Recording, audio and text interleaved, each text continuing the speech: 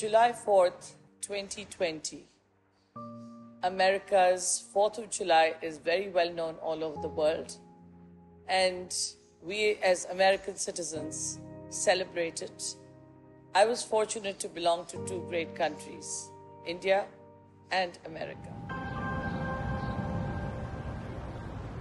I went to America in 1982 and was always told that this is the land of opportunity, land with equal rights.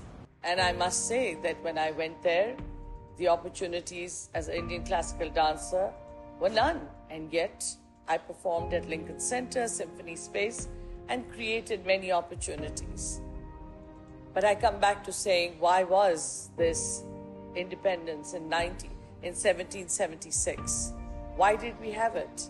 Because great men came together, like Thomas Jefferson and John Adams, and brought about this change where we could, for many generations, celebrate the independence and equality of people in the real way, not just a checkbox.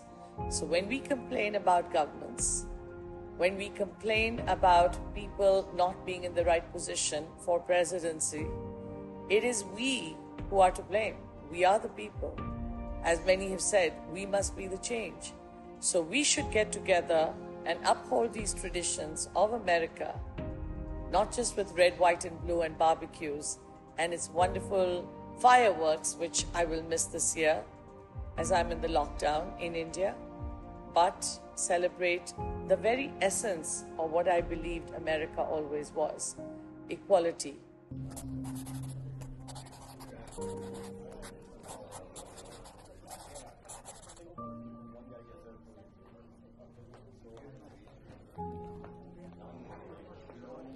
Jefferson also included at that point anti slavery, which was removed from the Declaration because they did not want to confuse it from just the independence from of the 13 states from Britain.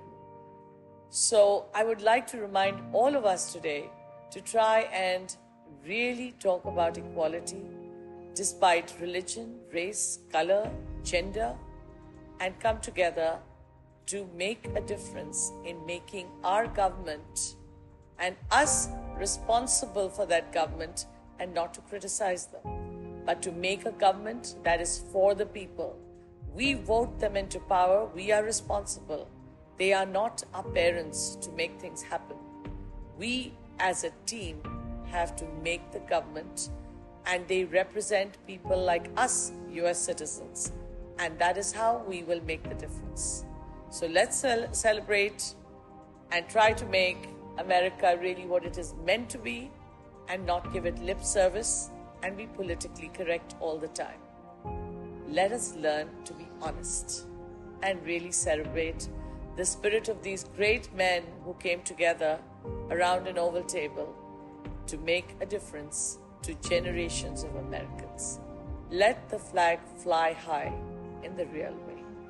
Make sure the next government is what is representative of equality, of class, race, gender, people, and above all, anti the very thoughts Jefferson stood for and John Adams and every US president who believed in equality. As an immigrant, I urge you all, please look within yourself as the election comes up and really vote with your heart and not just your dollars. And happy 4th of July to everyone. Thank you.